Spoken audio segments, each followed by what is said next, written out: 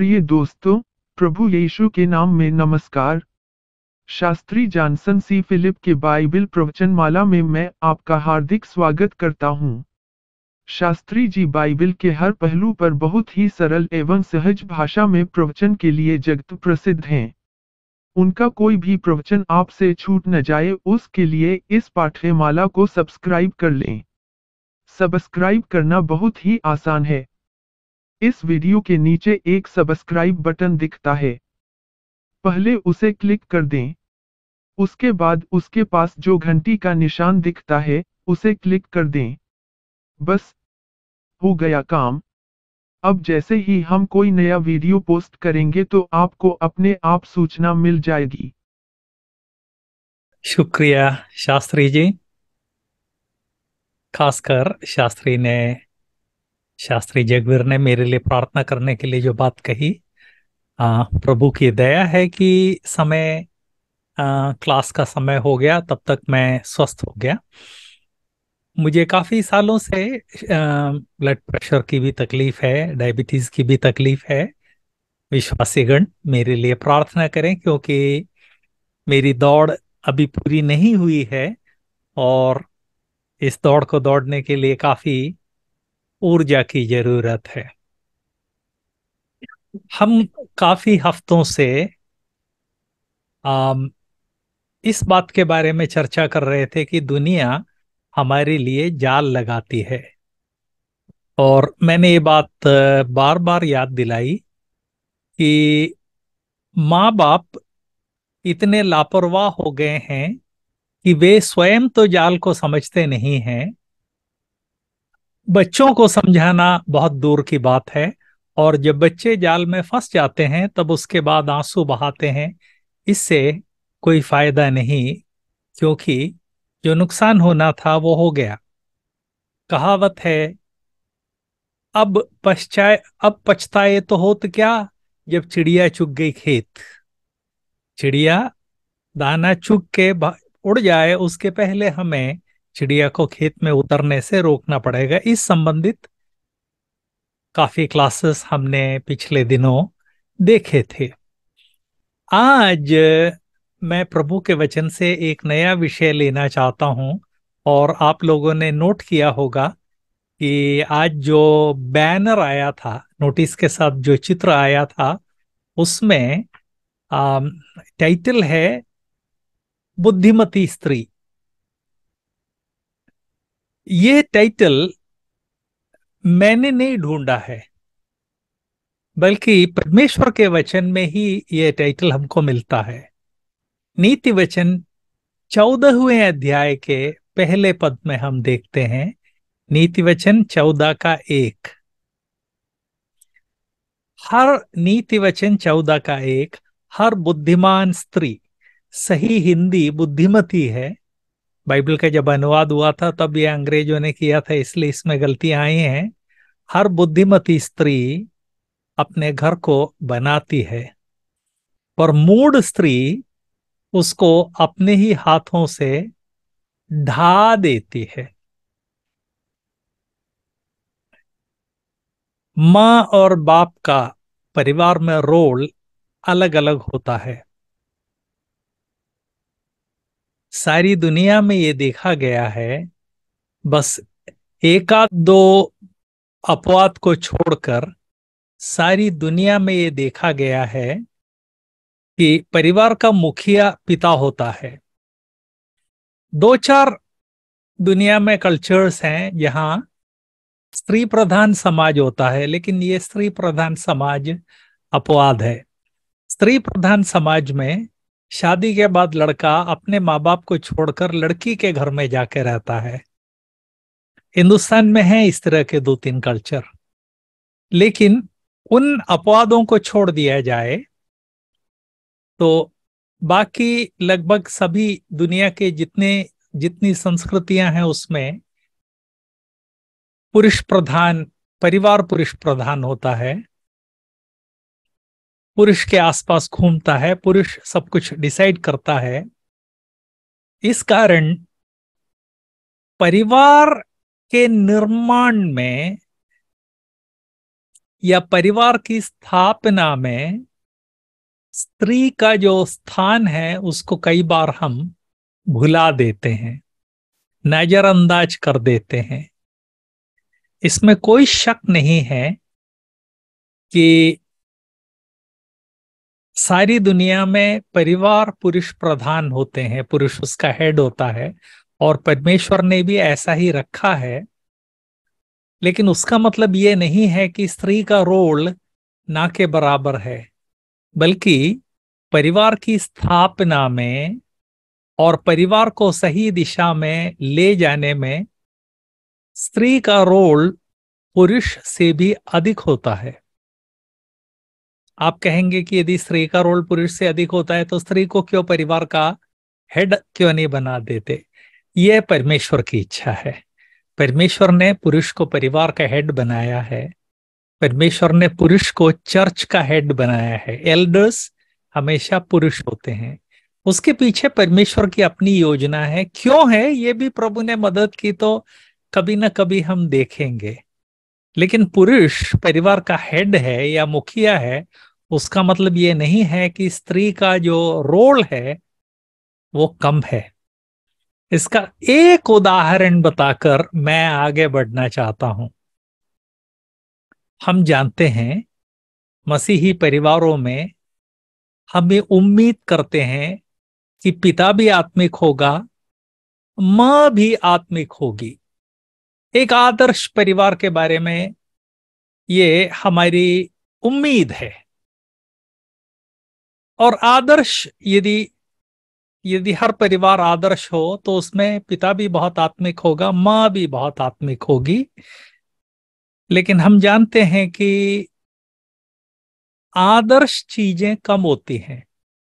आदर्श हम पसंद करते हैं, हम चाहते हैं, लेकिन पाप स्वभाव के कारण इवन हम जो लोग आदर्श परिवार चाहते हैं, हम कई बार अपने आदर्श परिवार को अपने स्वयं की मूर्ता के कारण, अपने स्वयं की लापरवाही के कारण, अपने स्वयं की जिद के कारण बर्बाद कर देते हैं।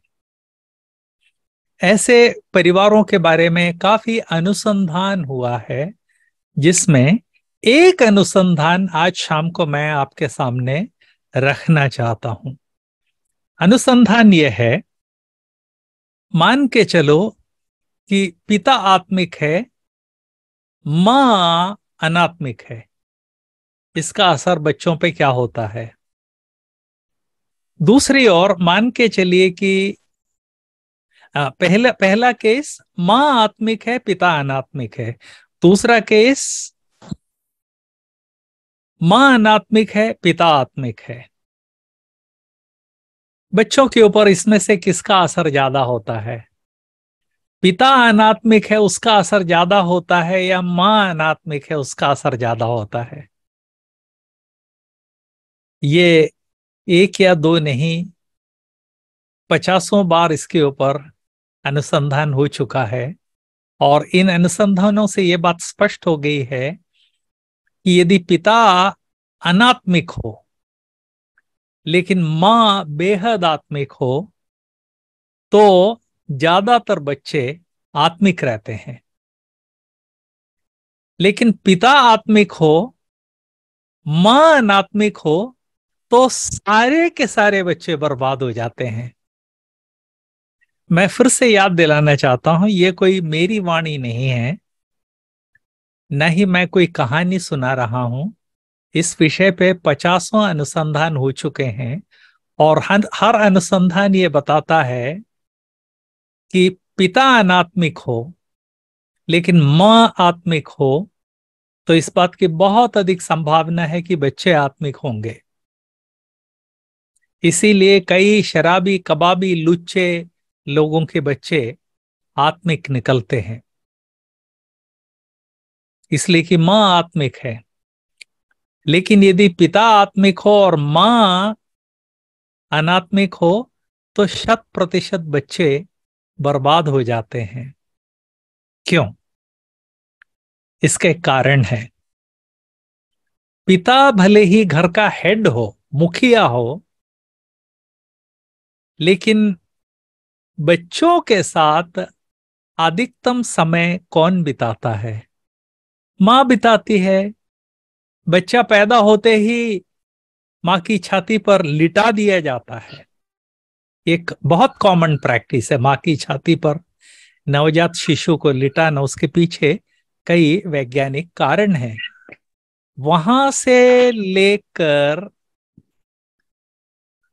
जीवन में आखिरी समय तक, पिता की तुलना में बच्चा माँ के साथ अधिक समय बिताता है। हो सकता है इसके अपवाद हो। दुनिया में हर चीज़ का अपवाद है। हो सकता है पिता घर बैठ के नौकरी करता हो, माँ बाहर जाती हो तो फिर पिता को ज़्यादा समय मिलता है।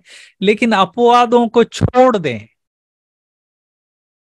सामान्य परिवार में पैदाइश के उस क्षण से लेकर जीवन के लगभग आखिरी समय तक बच्चे माँ के साथ अधिक समय बिताते हैं। और इस कारण माँ का प्रभाव बच्चे पर अधिक होता है। और इस कारण यदि माँ अनात्मिक हो,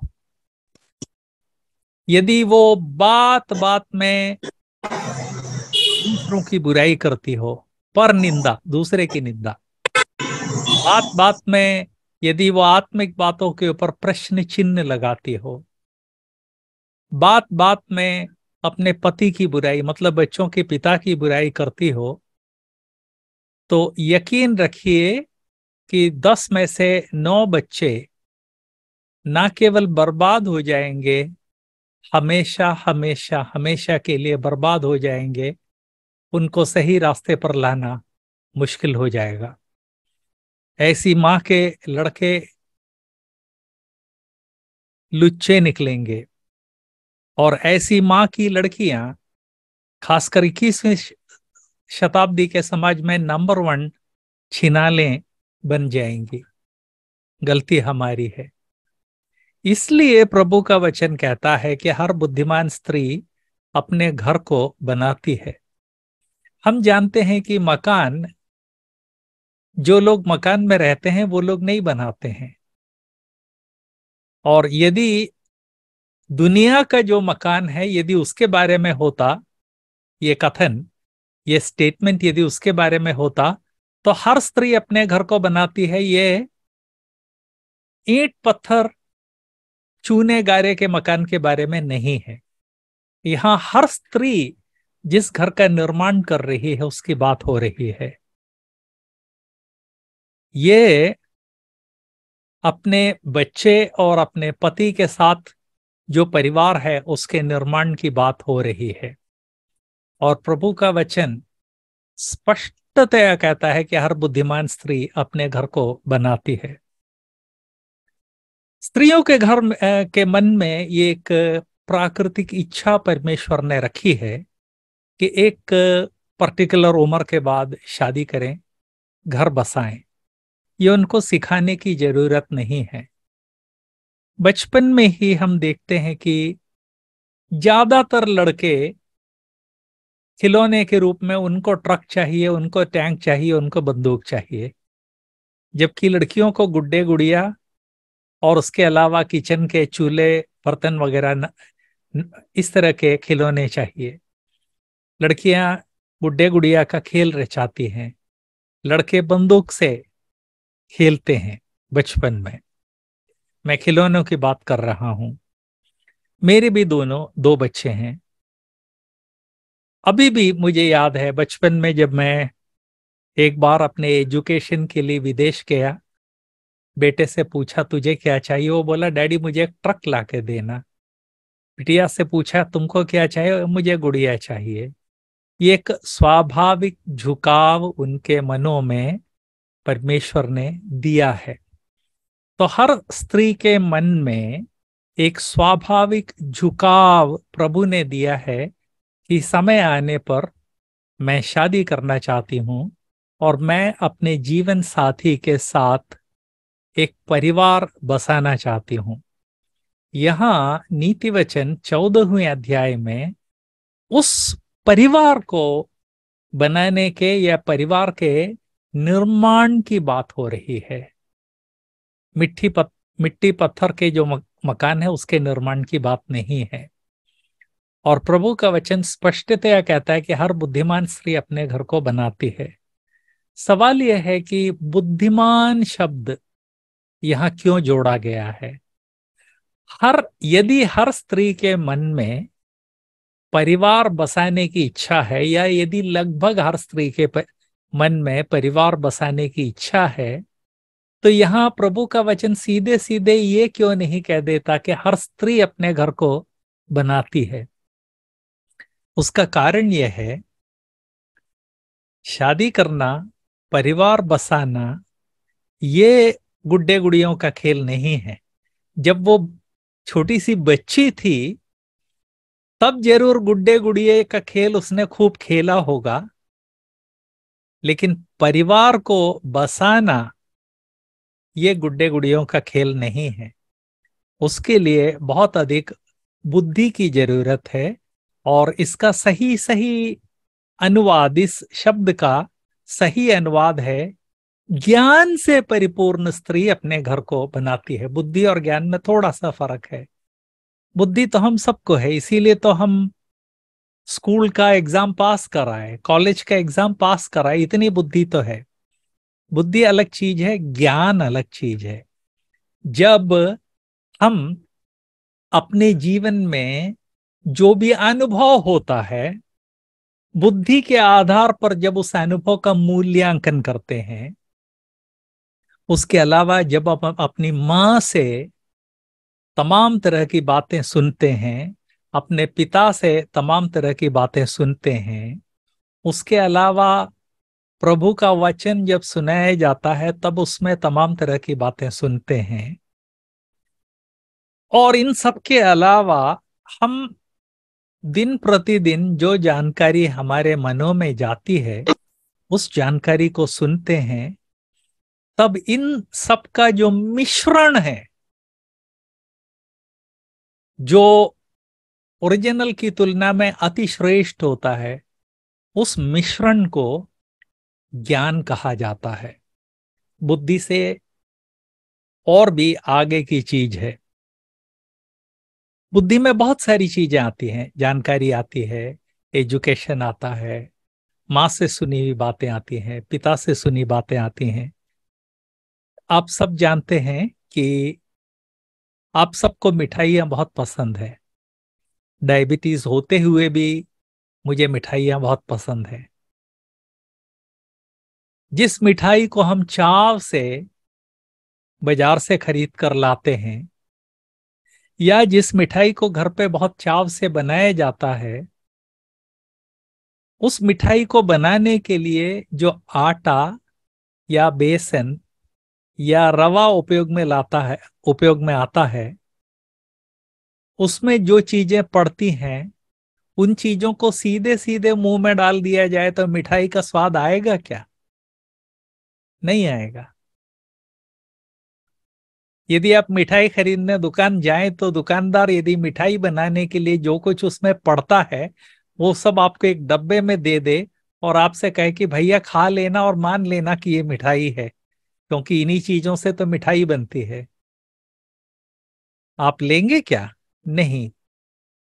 इसी तरह से हमको ज्ञानवान या ज्ञानवती बनाने के लिए पचासों प्रकार के घटक, पचासों प्रकार की चीज़ें उसमें पड़ती हैं, जिसमें एजुकेशन है, प्रभु के वचन का ज्ञान है, माँ से जो उपदेश मिलता है वो है, पिता से जो उपदेश मिलता है वो है। इस तरह से परमेश्वर ने तमाम तरह के सोर्स या स्रोत रखे हैं जहाँ से हमको ज्ञान मिलता है।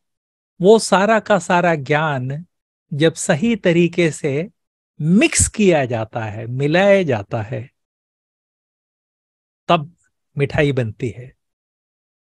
आप पूछेंगे कि एक ही परिवार में अलग अलग बच्चे क्यों अलग अलग प्रकार का ज्ञान दिखाते हैं? कोई तो बहुत ज्ञानवान होता है, उसी माँ बाप के अंडर जो ट्रेन किया हुआ एक और बच्चा है, वो बिल्कुल मूर्खों के समान व्यवहार करता है, उसका भी कारण है।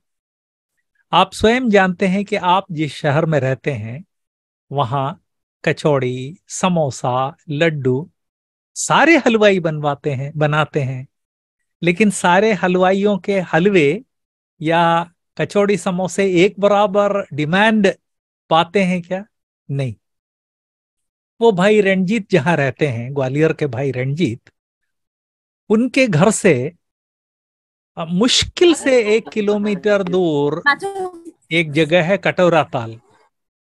जब भी वो ग्वालियर से आते हैं, अभी पिछले दिनों आए थे तो पूछते हैं, सर, आपके लिए क्या क्या लाऊं? तो पहली फरमाइश होती है कि वो कटोरा ताल वाले की मीठी कचौड़ी ले आना। इस बार तो बाकायदा बड़ा बक्सा और साथ में बड़ा जग उसका जूस लेकर आए थे। ग्वालियर में ग्वालियर तो बहुत बड़ा शहर है और हलवाइयों की संख्या सैकड़ों में नहीं हज़ारों में है। सब जगह कचौड़ी बनती है। तो बाकियों का क्यों मंगाते नहीं मंगाते? ये, ये कटोरा ताल वाले की, की कचौड़ी क्यों मंगाई जाती है? इसलिए कि सभी लोग एक ही चीज़ मिलाकर कचौड़ी बनाते हैं लेकिन कुछ लोग उसको कैसे मिलाना है? ये जानते हैं। और पीढ़ी दर पीढ़ी ये ज्ञान आगे बढ़ाया जाता है। उसी तरह से जब वो ग्वालियर से आते हैं तो एक चीज़ और मैं मंगाता हूँ, वो है बहादुरे के घी के लड्डू। इस बार भी लाए थे बहादुरे के घी के लड्डू।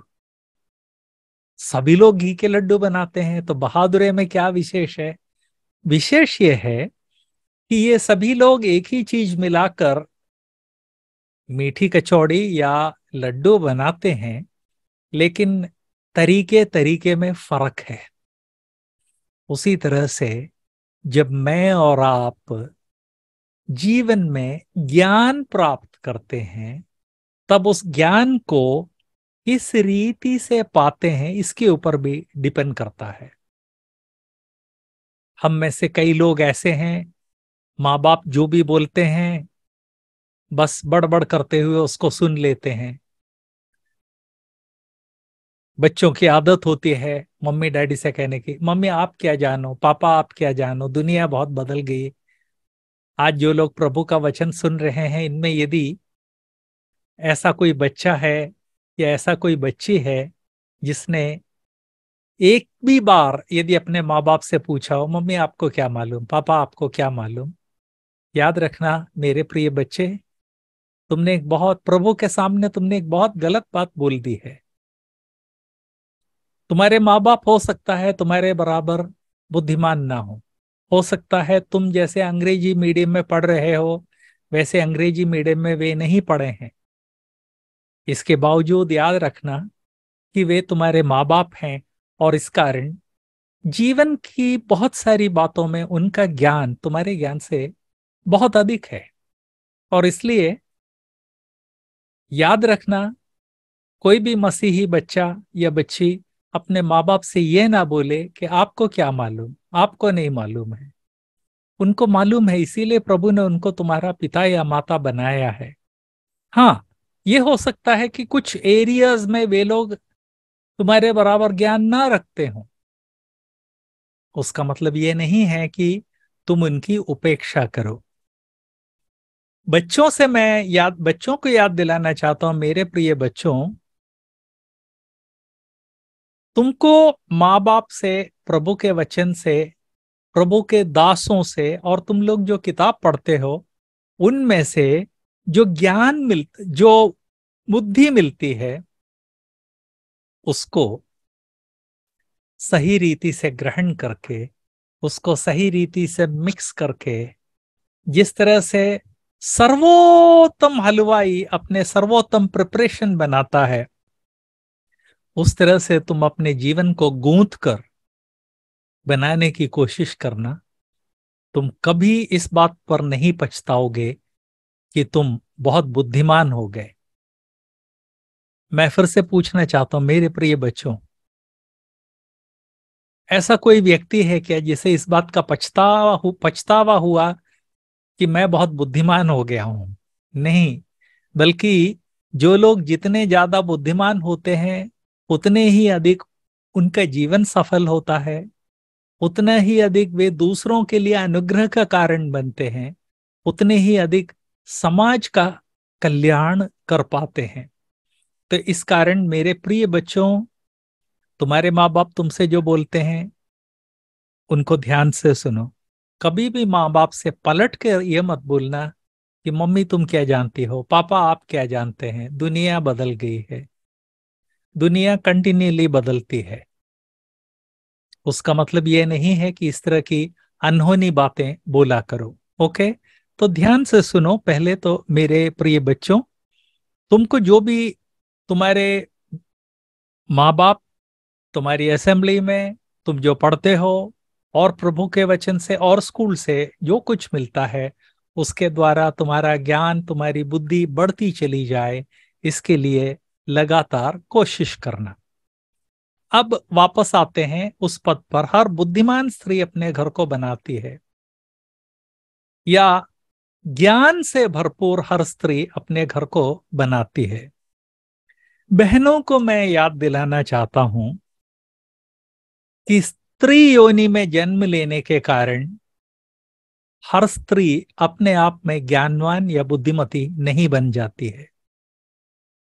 मैं फिर से याद दिलाना चाहता हूँ। स्त्री के रूप में जन्म लिया तो उसका मतलब ये नहीं है कि आप ज्ञानवती हो जाएँगी, नहीं। पुरुष, ना तो पुरुष, ना स्त्री जन्म के द्वारा ज्ञानवान होते हैं, नहीं होते हैं। आप कहेंगे कि, ओके ब्रदर समझ गए, लेकिन अब तो हम जीवन में सेटल हो गए हैं। शादी हो गई है, परिवार हो गया है, और चार बच्चे हो गए हैं। अब मैं अपने बुद्धि या ज्ञान के बारे में क्या करूँ? अब तो बुद्धि और ज्ञान में कोई फ़र्क नहीं पड़ सकता। यह गलत है। यह गलत सोच है। जीवन में ऐसा कोई क्षण नहीं है जब हमारी बुद्धि और ज्ञान का विकास रुक जाता है। हम में से हर व्यक्ति अपने मृत्यु के समय तक जीवन में बुद्धि और ज्ञान को प्राप्त करता ही रहता है। मैं ऐसे कई लोगों को जानता हूँ जो सत्तर सत्तर, अस्सी अस्सी साल की उम्र में नई बातें सीखने की कोशिश करते हैं। जब उनसे पूछा जाता है कि सत्तर के हो गए हो, अस्सी के हो गए हो, नब्बे के हो गए हो, अब इस इस बात को सीखने से क्या फ़ायदा होगा? तो इनमें से कई लोगों का जवाब यह होता है, ज्ञान कभी बुरा नहीं होता है, बुद्धि कभी बुरी नहीं होती है। और ये सही है। ये देखा गया है कि जो लोग अस्सी अस्सी नब्बे नब्बे साल की उम्र में नई चीज़ों को सीखने की कोशिश करते हैं, उनके साथ उनके जीवन में सारे जीवन पर उसका असर होता है। उत्तर भारत में तो पत्थर का कोयला सब जगह होता है ना? अब तो हलवाई लोग गैस का प्रयोग करने लगे हैं, लेकिन इसके बावजूद पत्थर का कोयला सब जगह चलता है। पत्थर का कोयला बहुत तेज गरम अग्नि देता है। जब पत्थर का कोयला तेज अग्नि देता है उस समय या तो दुकानदार, या तो हलवाई, या हलवाई के साथ जो लड़का, या उसके सहायक लोग हैं, वो एक लोहे का एल शेप का एक डंडा लेके उस चूल्हे में नीचे से जो कोयला है, उसको हिलाते हैं। क्यों हिलाते हैं? जिससे कि जलते हुए कोयले पर जो राख जम जाती है और जो राख जलते हुए कोयले की गर्मी को सप्रस कर देता है, वो राख नीचे को गिर जाए जिससे कि कोयले की अग्नि और तेज हो जाए। जो लोग सत्तर साल, अस्सी साल, नब्बे साल की उम्र में नई चीज़ें सीखने की कोशिश करते हैं, वे मूर्ख नहीं है। वे लोग एग्जैक्टली exactly वही कर रहे हैं जो पत्थर का कोयला जलते समय उसमें बीच में एल शेप के, लोहे के रॉड से उस उन अंगारों को हिलाया जाता है, जिससे कि उसके ऊपर से राख नीचे गिर जाए, आग तेज हो जाए।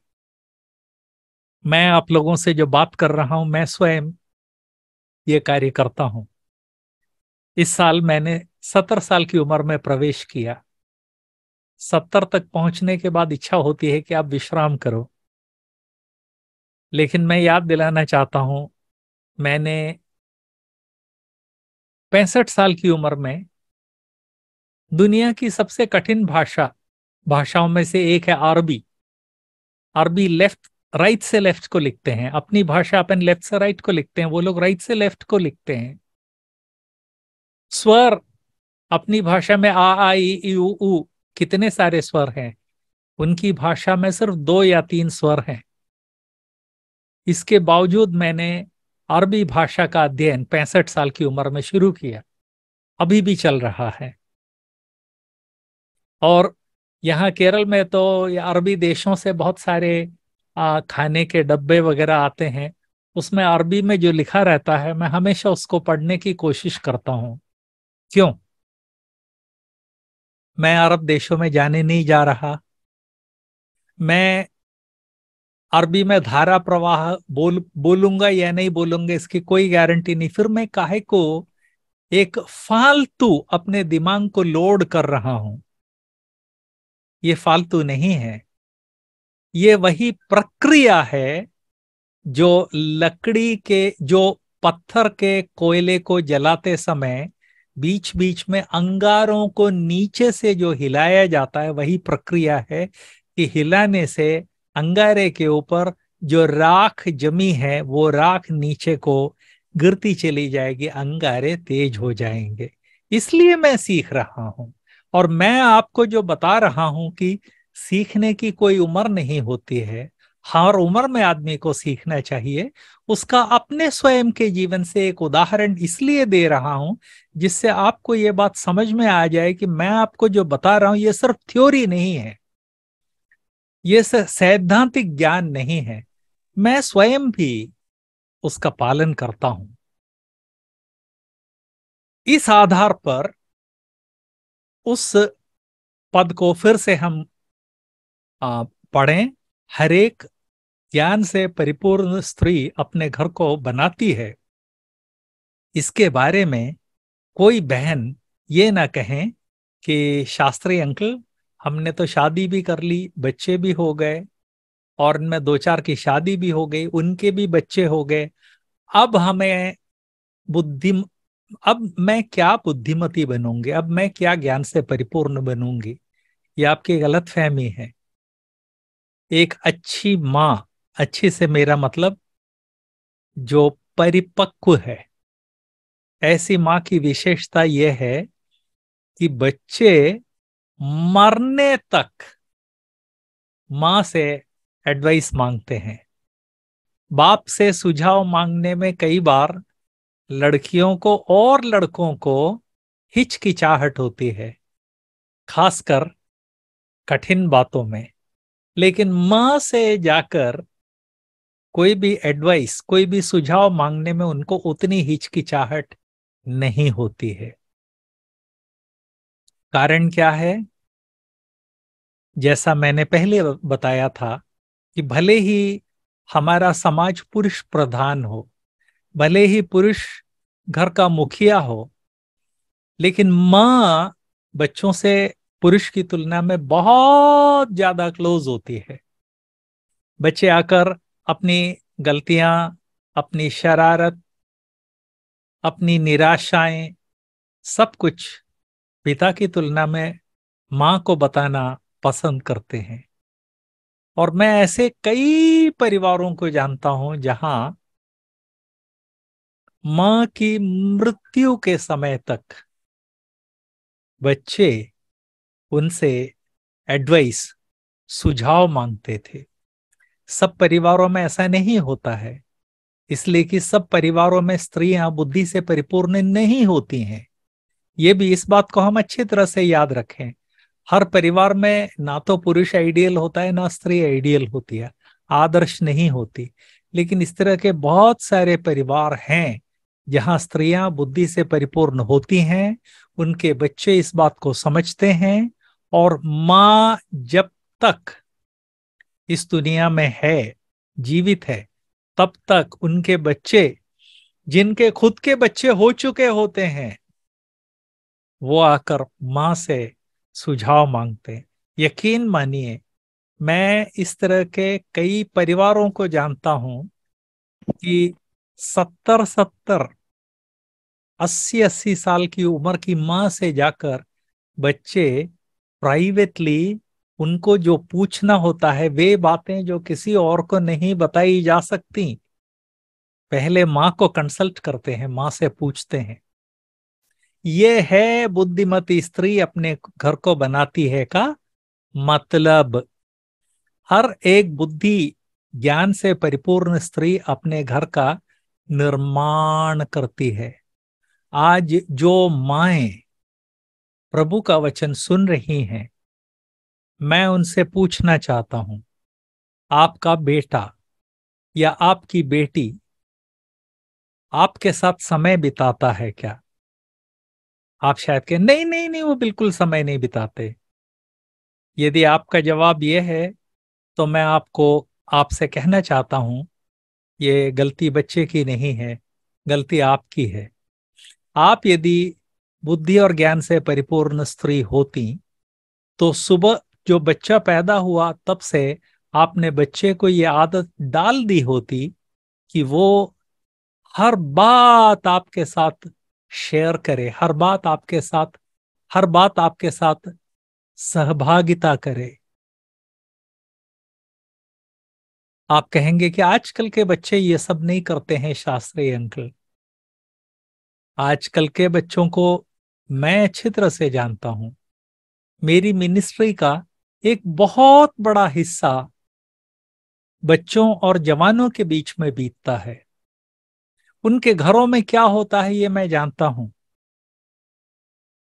और इसलिए मैं यकीन दिलाना चाहता हूँ कि आजकल के बच्चे कई बातों में बदल गए हैं, लेकिन माँ की ममता, माँ का स्नेह और माँ का बुद्धि से भरा हुआ जो परामर्श है एडवाइस आज भी उनके मन में उसके लिए बहुत बहुत बहुत अधिक कीमत है।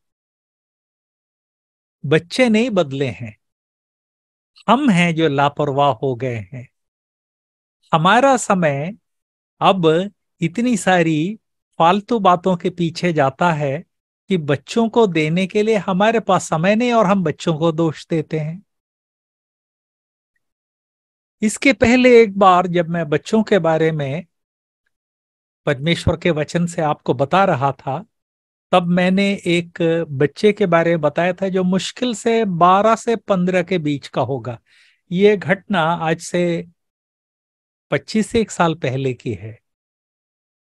आज वह लड़का शादीशुदा है, दो बच्चे हैं, आज भी हमारी मुलाकात होती है। आज से बारह पच्चीस साल पहले, बारह से पंद्रह के बीच में उसकी उम्र होगी। उसके जीवन में एक बड़ी विकट समस्या आ गई थी। बहुत ही विकट समस्या। मुश्किल से बारह या पंद्रह साल का होगा, लेकिन स्त्रियों के प्रति सीमा से अधिक आकर्षण। अपनी उम्र की लड़कियों के प्रति कोई आकर्षण नहीं, लेकिन क्लास टीचर और अन्य टीचर्स के प्रति सीमा से परे आकर्षण। आपका बच्चा यदि आकर आपसे बोले तो आपका क्या रिएक्शन होगा? ज़्यादातर मसीही माए कहेंगे, हाय माँ, तू कैसी गंदी गंदी गंदी बातें सोचता है। परिणाम क्या होगा? उस बच्चे को जो समस्या है, उसका हल तो हो नहीं पाया। आइंदा कभी वो समस्या आपको नहीं बताएगा और जैसे अचार पुराना होते होते उसका गैस बढ़ता चला जाता है, इस बच्चे की समस्या बढ़ती चली जाएगी। और वो बर्बाद हो जाएगा। लेकिन ये बच्चा जो मेरे पास लाया गया था, जिसकी समस्या मैंने एक सिटिंग में, सिर्फ़ एक बार मैं उसके साथ बैठा, एक सिटिंग में समस्या हल हो गई। इस काउंसलिंग का हीरो कौन था? इस काउंसलिंग का हीरो या हीरोइन उसकी माँ थी। उस महान माँ ने बचपन से अपने बच्चों के साथ हर चीज़ खुलकर बातचीत करने शेयर करने की आदत डाल दी थी। इस आदत के कारण जब इस बच्चे के मन में यह समस्या आने लगी तो कहीं इधर उधर जाके अपने मित्रों वगैरह को बताकर बर्बाद होने के बदले उसने सीधे सीधे जाकर माँ से यह बात कही। माँ ने भरपूर उसकी मदद करने की कोशिश की, लेकिन वो उस समस्या को हल नहीं कर पाई। इसमें कोई ताज्जुब नहीं है। देखिए, बच्चे अपने जीवन में जो समस्याएँ उनके जीवन में जो आती हैं, उनमें हर समस्या का हल ना तो माँ के पास होता है, ना पिता के पास होता है। प्रभु ने इसीलिए तो हमको एक समाज के रूप में रखा है जिससे कि यदि एक समस्या हम हल ना कर पाए तो अपने से ज़्यादा अनुभवी एक व्यक्ति से पूछ सके। तो इस माँ ने दो या तीन साल इस समस्या को हल करने की कोशिश की नहीं हल पा, कर पाई लेकिन उसने एक बात का ख्याल रखा कि बच्चा खुलकर हर बार माँ को बताता चला जाए। और माँ ने कभी उससे ये नहीं कहा कि हाय माँ तू कैसी गंदी बातें सोचता है, तू कैसी गलत बातें? नहीं। माँ ने हमेशा उसकी समस्या को समस्या के रूप में गंभीरता से लिया और बोला कि बेटा हाँ ये समस्या है, इसका हल करना ज़रूरी है। और हम इसका हल ज़रूर निकालेंगे बेटा। और हर बार बेटा जब आकर माँ से ये बात बोलता था तो माँ उसके सर पर हाथ रखकर प्रार्थना करती थी। यहाँ आगे बढ़ने से पहले माओ से एक बात मैं पूछूँ। आप में से कितनी माए हैं जो अपने बेटे या बेटी के सर पे हाथ रखकर प्रार्थना करती है। बच्चों के लिए प्रार्थना करना ही हमारे परिवारों में एक गैर बात हो गई है। सर पे हाथ रख के प्रार्थना करना तो मैंने तो बहुत कम देखा है, बहुत ही कम देखा है। जबकि ये लड़का जब भी आकर माँ से कहता था, मम्मी, आज ऐसा हुआ। तो मम्मी कहती थी कि, बेटा, इसका हल निकालना पड़ेगा। मैं, आओ, अपन प्रार्थना करें। माँ बच्चे को अपने पास बैठकर सर पे हाथ रख के आंसुओं के साथ प्रभु से प्रार्थना करती थी कि प्रभु, बेटे की ये समस्या है, इसका हल ज़रूरी है, क्योंकि ये एक असामान्य समस्या है। उस वीर माँ को मैं सैल्यूट करता हूँ। तीन साल के बाद अचानक जब उन्होंने एक नोटिस देखा कि उस कैंप में मैं मुख्य वक्ता हूँ तब अचानक उनको पवित्र आत्मा की प्रेरणा हुई कि बेटे को लेकर मेरे पास आए। जब उस कॉन्फ्रेंस में आई तो बहुत ही प्राइवेटली उन्होंने मेरे पास आकर अपना परिचय दिया। मेरे ही एक आ, सहकर्मी की बहन निकली। उसने कहा कि, अंकल, आप मुझे नहीं जानते, मैं आपको बहुत अच्छी तरह से जानती हूँ। आपकी सेवा शुश्रूषा के बारे में जानती हूँ और मेरी समस्या बड़ी विकट है। समस्या ये है। मैंने कहा कि, तुम बड़ी वीर माँ हो कि अपने बच्चे के साथ इस तरह का व्यवहार रखा कि वो लड़का आके हर बार तुमको बता देता है। कोई और माँ होती तो वो तो सीधे कहती कि बाप रे, कैसी गंदी बातें तुम्हारे मन में आती हैं। लेकिन तुमने बच्चे को दोष देने के बदले बच्चे की समस्या को ढूंढ कर उसका हल निकालने की कोशिश की, चूँकि तुम काउंसलिंग में ट्रेंड नहीं हो, इसलिए समस्या का मूल कारण तुम ढूंढ नहीं पाई। लेकिन कम से कम तुमने उस बच्चे को सपोर्ट किया, प्रार्थना के द्वारा सपोर्ट किया। बड़ी वीर माँ हो कहकर फिर मैंने कहा कि अब बेटे को मेरे पास लाओ और बेटे को बता दो कि जिस तरह से तुमसे बोलता है, खुलकर। वैसे ही इस अंकल से बोलना क्योंकि ये अंकल मेरे बड़े ब्रदर हैं। बिल्कुल ऐसा ही उन्होंने किया।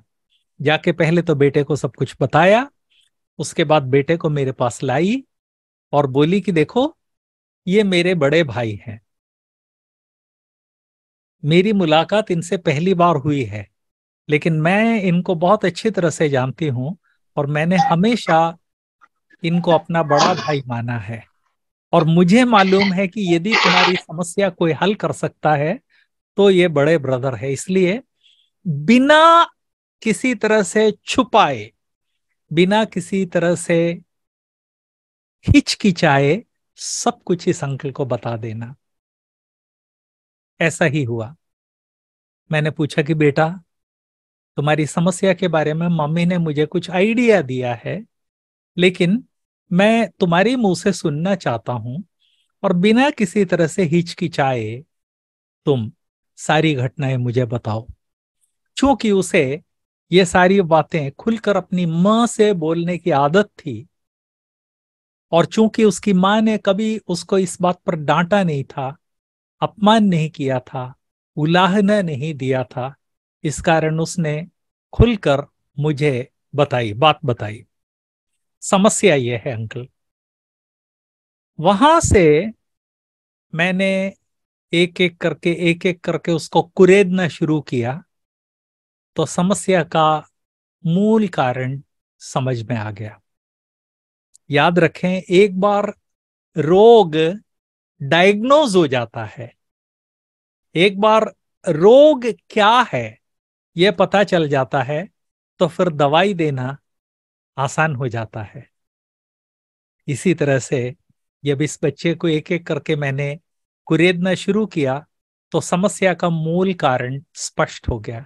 और जब समस्या का मूल कारण स्पष्ट हो गया, बच्चे को नहीं मालूम था, वो नहीं समझ पाया था।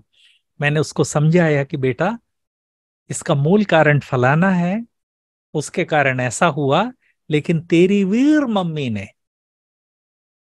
तुझे आज तीन साल सपोर्ट किया, और अब मैं तुमको वो तरीका बता रहा हूँ जिसकी मदद से तुम इस जो मानसिक आकर्षण और परीक्षा है, उससे पूरी तरह से बाहर आ जाओगे। फिर मैंने उसका तरीका वगैरह बताया।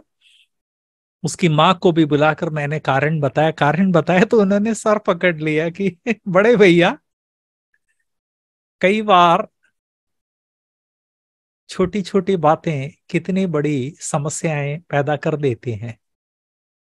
बस इस बच्चे की समस्या ये थी कि दोपहर को जिस घर में वो घंटे, दो घंटे बैठकर अपने माँ की, माँ का इंतज़ार करता था, वहाँ एक बार अश्लील चित्रों से भरा हुआ साहित्य उसके हाथ में पड़ गया। बस, उसके साथ साथ उसके मन के इमोशंस बदलने लगे। जब ये बात डायग्नोस करके जब मैंने बच्चे को बताई, माँ को बताई तो माँ ने सर पीट लिया कि, बड़े भैया, जरा सी लापरवाही से मेरे बच्चे मेरा बच्चा बर्बाद हो गया था। मैंने कहा कि, नहीं, तुम्हारी लापरवाही नहीं है। बच्चा समाज में जब जाता है, तब क्या क्या क्या क्या चीज़ें जो है, वो देखेगा ये तुम घोड़े की आँख तांगे में घोड़े की आँख जैसे बंद करते वैसे इसकी आँख तो बंद नहीं कर सकती। लेकिन तुमने बच्चे के साथ एक खुला व्यवहार किया, इस कारण बच्चे ने सब तुमको बताया और तुमने बच्चे को दोष नहीं दिया, बच्चे को उलाहना नहीं दिया, बच्चे की बुराई नहीं की। इसलिए वीर माँ तुम हो, जिसने अपने बच्चे को बचा लिया। इसके साथ साथ वो माँ और बच्चे चले गए और उसकी समस्या हमेशा हमेशा के लिए हल हो गई। कौन है इस घटना में जिसने सबसे महत्वपूर्ण रोल अदा किया? आप कहेंगे कि शास्त्री अंकल, आप हैं जिन्होंने रोल अदा किया। सच है, एक ट्रेन्ड काउंसलर होने के कारण मैं समस्या जल्दी पकड़ सका, जबकि वो बहन नहीं पकड़ सकी। लेकिन अकेला मैं नहीं हूँ इस घटना का मुख्य पात्र। वो बहन भी इस घटना की मुख्य पात्र है, जो बुद्धिमती है, और बुद्धिमती होने के कारण, ज्ञानवती होने के कारण, जब उसने अपने बच्चे की समस्या सुनी तो बच्चे को दोष देने के बदले, बच्चे को जितनी उसकी समझ थी, उस हिसाब से बच्चे की काउंसलिंग की। और सबसे बड़ी बात, नियमित रूप से बच्चे के सर पे हाथ रखकर प्रार्थना करती थी और बच्चे से बोलती थी कि, बेटा, जब भी ऐसी भावनाएँ तुम्हारे मन में भड़कती हैं तो दौड़ के मम्मी के पास आना, अपने मित्रों को मत बताना, अपनी बहन को मत बताना। इवन डैडी को फ़िलहाल बताने की ज़रूरत नहीं है। मैं ये समस्या हल करने की कोशिश करूँगी और फाइनली हल करने के लिए जब उनको ये बात समझ में आ गई कि उनके वश की बात नहीं है तो उन्होंने बड़े भाई समान मुझे अपने बेटे को सौंप दिया। इस बात को याद रखें। प्रभु का वचन जो कहता है, एक हाँ।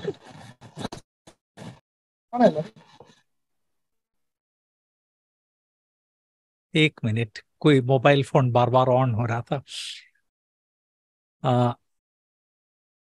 उस बुद्धिमती माँ ने उस ज्ञानवती माँ ने अपने बच्चे को हमेशा हमेशा के लिए बर्बाद होने से बचा लिया। इस तरह के अश्लील साहित्य जब बच्चों के हाथ में पड़ता पड़ जाता है बड़ों के हाथ में पड़ जाता है तो वह वे बर्बाद हो जाते हैं। बच्चे तो निश्चित रूप से बर्बाद हो जाएँगे लेकिन उस बच्चे को बर्बाद होने से उसकी ज्ञानवती, बुद्धिवती माँ ने बचाया। तो प्रभु का वचन जब कहता है कि हर एक बुद्धिमान स्त्री अपने घर को बनाती है, अपने घर का निर्माण करती है तो उसका एक उदाहरण आज मैंने आपको बताया कि किस तरह से इस वीर माँ ने अपने बेटे को हमेशा हमेशा के लिए बर्बाद होने से बचा लिया। आज वो और उसकी पत्नी दोनों ही अच्छी नौकरी कर रहे हैं। नौकरी के साथ साथ प्रभु की सेवा के लिए बहुत कुछ कर रहे हैं और वो आज भी जब उसको कोई समस्या होती है तो मुझसे भी संपर्क करता है, क्योंकि उसकी माँ ने उसको बता दिया था कि ये मेरे बड़े भैया हैं और जो चीज़ मैं सॉल्व नहीं कर सकती, वो बड़े भैया सॉल्व कर सकते हैं और तब से वो न केवल अपनी माँ के संपर्क में है, माँ के जो बड़े ब्रदर हैं, बड़े भैया माँ के बड़े भैया या उसके मामा, उससे वो हर चीज़ पूछता है। आज जो बहनें प्रभु का वचन सुन रही हैं, ये विषय अभी समाप्त नहीं हुआ है। मैंने सिर्फ़ एक लड़के का उदाहरण दिया, अभी और भी हैं। मैं उनसे पूछना चाहता हूँ, आप किस तरह की माँ हैं? यदि आपका बेटा आकर आपसे कहता है कि, मम्मी आज वो फलानी लड़की जो मेरे क्लास में पढ़ती थी, उसने मुझसे कहा कि मैं तुझसे प्रेम करती हूँ। आपकी क्या प्रतिक्रिया होगी? आपकी क्या प्रतिक्रिया होगी? हाय माँ, तू अभी अंडे से बाहर नहीं निकला और तू प्रेम करने लगा। देखिए, उसने आके कहा कि उस लड़की ने बोला, लेकिन आपका जवाब अपने बेटे को दोष देने का है। ये आपका व्यवहार है क्या? या अरे, तू अभी से प्रेम वेम के चक्कर में पड़ गया। याद रखें, एक माँ के लिए ज़रूरी है कि वो इस बात को समझे कि बेटा या बेटी हर चीज़ खुल के माँ के साथ बोल लेते हैं और जब बच्चा बोलता है तो उसको तसल्ली चाहिए, उसको सांत्वना चाहिए। इसलिए माँ एक बुद्धिमती, ज्ञानवती स्त्री के रूप में बच्चे के साथ व्यवहार करे। इसके लिए ज़रूरी है कि हम ज़िंदगी भर, जीवन भर प्रभु की ओर से जो ज्ञान मिलता है, उसको प्राप्त करने की कोशिश करें। प्रभु ने मदद की तो हम अगले हफ़्ते भी इसी पद को देखेंगे। जिस तरह से मैंने एक लड़के का उदाहरण दिया था, उस तरह से कम से कम ज्ञानवती माँ एक बेटी को किस तरह से हैंडल करती है, इसका भी उदाहरण दूँगा। मैं फिर से क्लोजिंग में याद दिलाना चाहता हूँ कि एक बुद्धिमान बुद्धिमती माँ, एक ज्ञानवती माँ बनने की कोई उम्र नहीं है और ज्ञान प्राप्ति कभी समाप्त नहीं होती है।